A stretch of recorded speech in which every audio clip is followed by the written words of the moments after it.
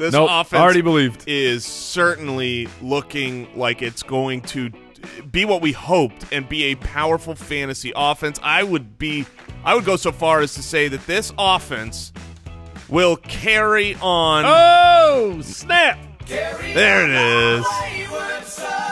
We- We're doubling up on the on the Lions here. My rising star is Kerryon Johnson. It was a very nice game to watch. Although it's funny, so super excited, right? Detroit finally has the stat that is over about.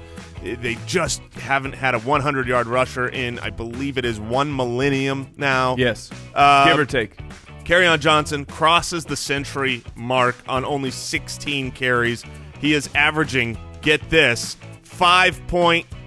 5.55 yards per carry. First 100 yard rusher since 2013 yeah, I mean, it's, for the Lions. They were clapping for the 101. it, he is great. The city is behind him. Everyone is excited. LeGarrette Blunt. The city is behind him. I- I'm not sure that. that I'm What tell- about Kiss? Is Kiss are you him? considering yourself a city in this situation? are you the village. city of Jason? The city of Jason is completely uh, in support of Kerryon Johnson. It's a suburb in Detroit. LeGarrette Blunt at the end of the game when they're trying to run the clock out fumbles the ball away. That is Yeah. another feather in the cap. Look, Send him to jail, here's, Patricia.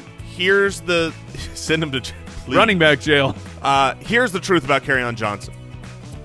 It's so infuriating watching LeGarrette Blunt get the ball and do so much less with it. And it's not a situation where you can go, well, the yards are carries because he's getting it on third and one. No, they're getting the exact same type of carries.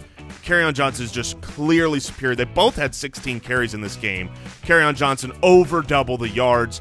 Everyone knows it's coming, but LeGarrette Blunt is not going away. Until he's injured, we will be a little bit frustrated. But my point in making on Johnson the rising star is that he is now, from here on out, a startable player. He is not going to be a fantasy superstar until LeGarrette Blunt gets out of the way. I don't think that happens until the second half of the season or an injury. But as of right now, you can go ahead and start your on Johnsons. Hey, thanks for watching.